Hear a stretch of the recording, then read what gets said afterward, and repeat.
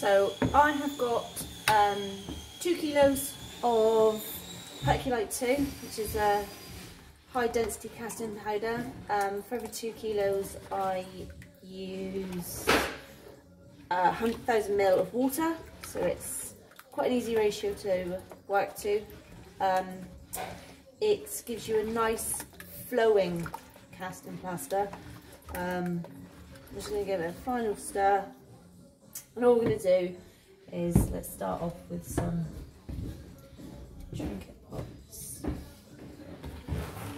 Um, simply pour,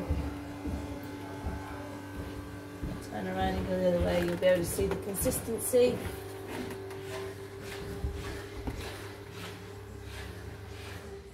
So it's just going to flow in there nicely.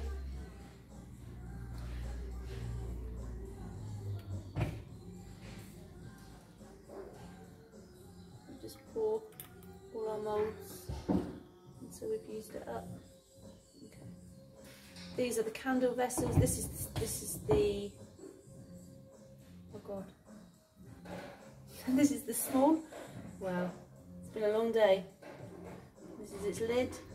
You just want to fill to the rim of that. Then we've got the medium vessel lid it's quite good. You've got about 50, got about 10, 15 minutes, depending on your environment. Work time, all in there.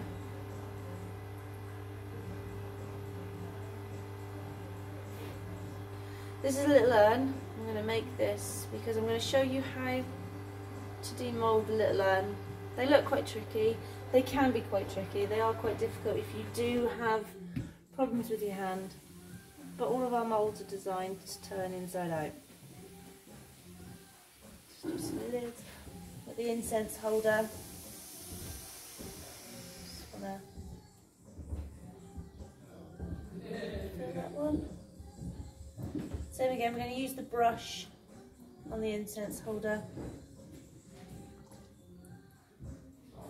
Medium lid got a little bit left. So I've always got a couple of little moulds on the table for waste.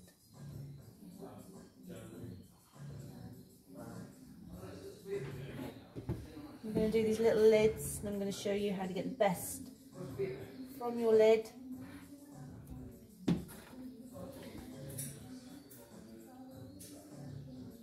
Okay.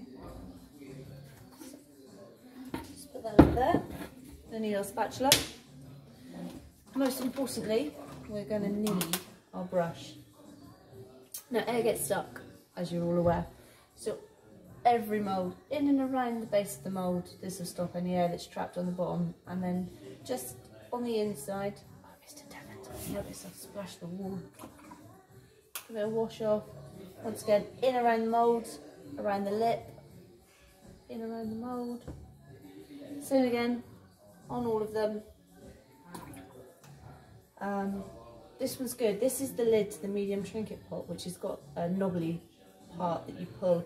If you just sort of bang it inside the lid, it will release any bubbles and then around the lip. Notice I'm washing my brush off each time and the reason is, is because plaster dries really, really quickly, especially on a brush. And what you want to do is you want to keep your bristles as soft as possible. So by continuously just rinsing it off just means that you're keeping it soft. You're not going to leave any horrible marks in the mould. Go around all that. These, these are pretty easy. So what we want to do is just make sure we push all air bubbles out of the way, especially on these because they do have an undercut. And these are the little lids, the little tea-light lids, and you've got the individual and the 150, and it's got that lip. We just want to go around it on both of them. And that'll just push any air out of the way. Um, incense holder, once again, all the way around the outside. Your brush. And then just give them all a quick tap.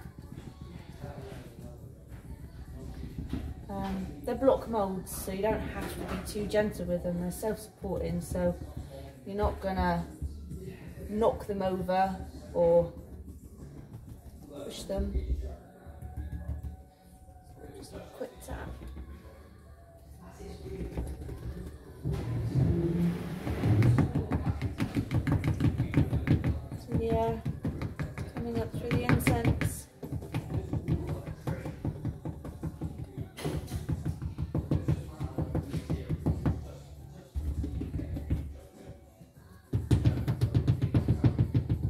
Bang.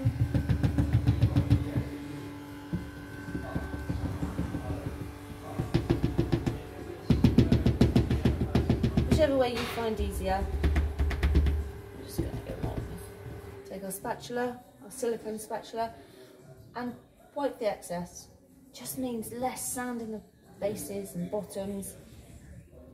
You get that nice smooth, you know, obviously if your pot doesn't need it, or your tea light doesn't need it, just gives it that extra smooth, less faff. Hate sanding. Gets in your nails, your nose. Wipe them off. They're a little bit bigger. I normally steal a ruler from Mr. Devon. He doesn't know, but